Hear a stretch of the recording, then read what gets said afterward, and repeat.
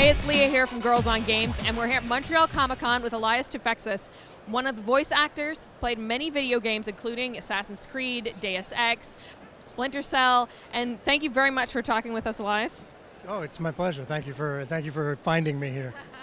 It's a very busy day here at Comic Con, and we'd like to know how did you end up getting into video game voice acting? Um, it's funny. It started out as voice acting, but now everything is it's very it's very different. It started out I was just auditioning like I would for a cartoon or whatever, and then I remember I did um, Assassin's Creed and Splinter Cell, and they asked me to come in and try to mocap the character as well, which I'd never done, and then I did that, and uh, it it started off the the the technology was so at its infancy that it started off like we were just mocapping the body, and then we started putting dots on my face and mocapping the face, and now it's all performance capture. Nothing is voice anymore. Um, so I never set out to be a voice actor. Really, I was just it was auditioning like I would audition for a commercial or for a cartoon or something. Just I, it was something that I did um, also along with acting in television shows and stuff. And I booked. Actually, my first video game was Need for Speed Carbon, which wasn't voice either. It was a full-on camera. Like that wasn't even performance capture. It was like a full-on camera. If you remember that game, like the actors show up in on camera. Yeah.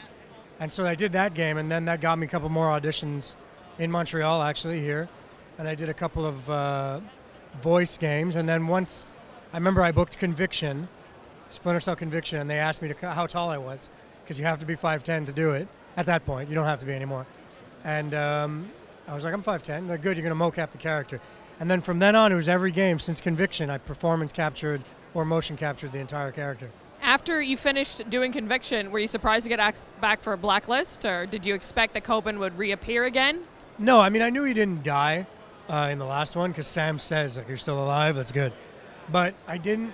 Um, when the when the game was uh, in its pre-production, when Blacklist was in its pre-production, uh, I know the director because he directed me in Need for Speed Carbon. It all comes circle, and he said, "Look, come help me out in the demo." And I went and did the demo for it, and I didn't. I, I, was demoing the engineer characters. I was just demoing some bad guys, uh, performance capture again, and uh, I I just thought I'd help him out. He'd maybe give me a small part. Him maybe I'd play a bad guy, and then I got a call from Maxime Béland, who's the creative director, and he said to me, uh, "I just feel like playing Kobin again." I was like, "Really? Okay." Uh, is he going to be a level that you have to beat? And then Co- it's like, no, no, no. We're thinking about maybe kind of making him a pseudo part of the team. It's like, really? And then I read the script and it was amazing, and Kobin's so much fun.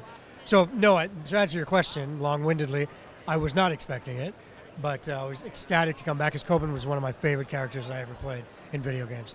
You got to host the Canadian Video Game Awards this year, April. How was that experience? It was weird. It was weird, but it was very, I mean, live, it was amazing.